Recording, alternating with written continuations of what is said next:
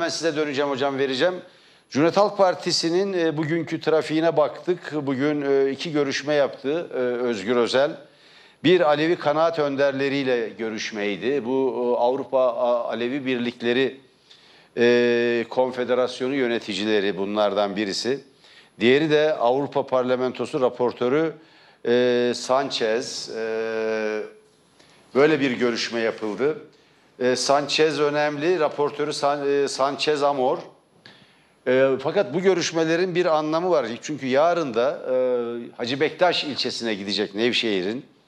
E, Alevilere karşı e, bir e, parti yönetiminde e, bir hamle yapıldığı görülüyor. Yeniden gönüllerini kazanmak için. Çünkü e, kurultayda e, Sayın Kemal Kılıçdaroğlu'nun kaybetmesi, özellikle kurultayın ikinci turunda bir farklı kaybetmesi ve o arada ortaya çıkan bazı söylentiler, bazı suçlamalar ya da eleştiriler, bazı dedikodular diyelim nedeniyle e, Alevi yurttaşların e, seçimlerde nasıl davranacağı konusunda e, bir tereddüt oluştu.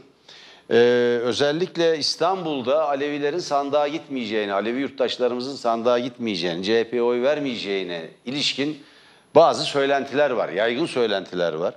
Biz bu alanda bir e, gönül kırıklığının olduğunu biliyoruz. Bunu biz de gözlemledik.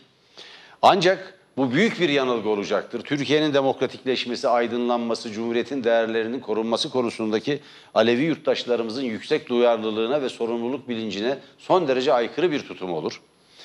Ee, Kemal Kılıçdaroğlu'nun e, kurultayda aldığı oyları Aleviliğe karşı bir tutum olarak Cumhuriyet Halk Partisi'nde değerlendirmek de büyük bir hata olur diye düşünüyorum.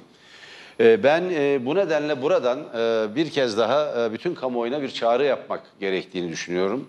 Sünnisiyle, Alevisiyle, demokratik hak ve özgürlüklerden, cumhuriyetten, cumhuriyetin değerlerinden, laiklikten yana olan, bağımsız Türkiye'den yana olan, adil ve demokratik bir Türkiye'den yana olan, bütün yurttaşlarımızın şu ya da bu kırgınlığını, şu ya da bu küskünlüğünü bahane ederek seçime, seçim sandığına gitmeme lüksü bulunmuyor. Tam tersine bütün yurttaşlarımızın 14-28 Mayıs seçimlerinin sağlamasını yapmak, bir tür revanşını almak. Burada revanşist, intikamcı bir anlayıştan söz etmiyorum.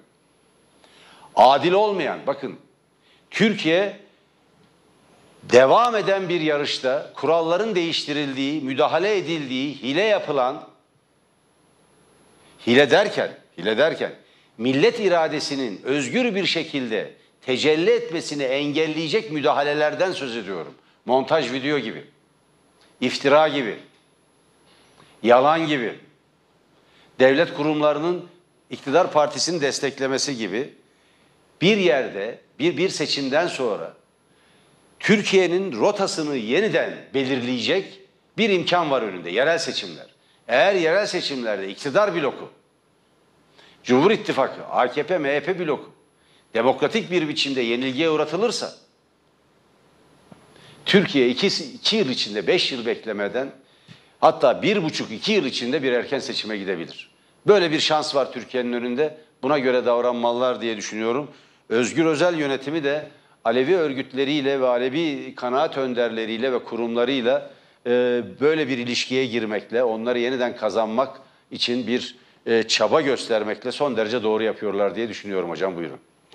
Evet, e, değerli izleyiciler tabii yerel seçimler fevkalade önemli.